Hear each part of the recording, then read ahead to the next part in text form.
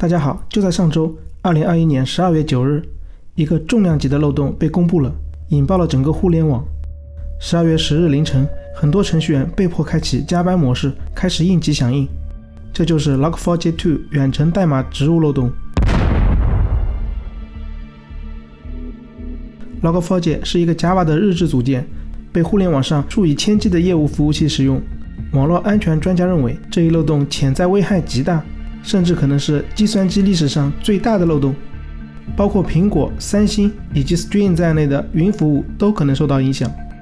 阿帕奇软件基金会已将这一漏洞严重性列为最高。更糟糕的是，受影响的服务器极易受到 Log4j 漏洞的攻击，即使没有经验的黑客也可以利用这一漏洞成功执行攻击。美国网络安全和基础设施安全局局长向行业领导者呼吁。该漏洞是他职业生涯中遇到的最严重的那一类，并且可能影响数以亿计的设备。如此严重的漏洞，波及面这么广，它到底是怎么被发现的呢？实际上，这个漏洞是被一个中国人发现的，是阿里云团队的一名成员。二零二一年十一月二十四日，国内的阿里云安全团队向阿帕奇官方报告了阿帕奇 Log4j2 远程代码执行漏洞，随后。奥地利和新西兰官方的计算机应急小组率先对这一漏洞进行了预警。到了这个月十日，漏洞影响进一步扩大。这天，微软旗下的一款游戏《我的世界》发布公告称，他们游戏的 Java 版容易受到攻击，并建议用户立即采取措施解决问题。玩家可以通过在游戏聊天框中粘贴信息方式，在其他玩家的电脑上执行程序。同一天，国外网络安全公司发现，使用这一漏洞的恶意用户激增。有证据表明，一些大公司 Stream 以及苹果的云服务受到了影响。另外，推特和亚马逊也受到了攻击。据统计，在漏洞出来的七十二小时内，黑客已经发起了超过八十四万次的攻击。别有用心的人已经将这个漏洞武器化，并还开发出利用该漏洞向外分发的工具，执行加密货币挖矿、发送垃圾邮件、通过大型僵尸网络发起分布式拒绝服务等攻击。相关国家的网络安全中心已强烈敦促企业务必提升安全意识，并及时为旗下的业务平台打上紧急修补程序。令人欣慰的是，目前还没有一起因 Log4j2 攻击而导致的严重安全报告。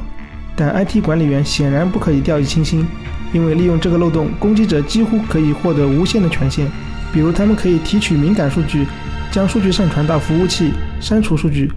安装勒索软件或进一步散播到其他服务器。目前，各大公司已开始着手修复这一漏洞。阿帕奇基金会也已发布了 Log4j2 2.15.0 2c2 修补程序。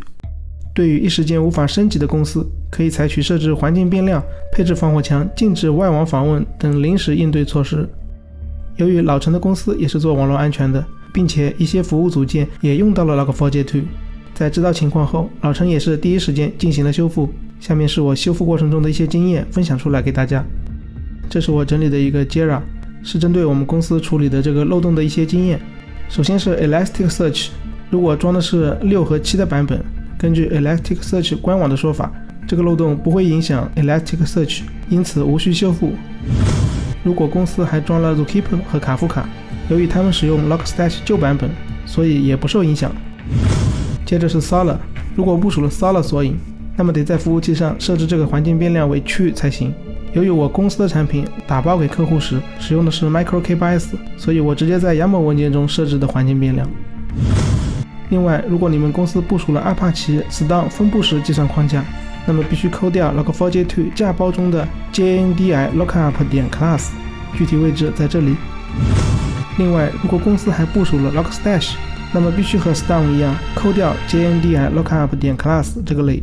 仅仅设置环境变量是不够的。以上就是我的一些经验，不懂的小伙伴就当我对牛弹琴吧。好，感谢大家的收看，那我们下期再见。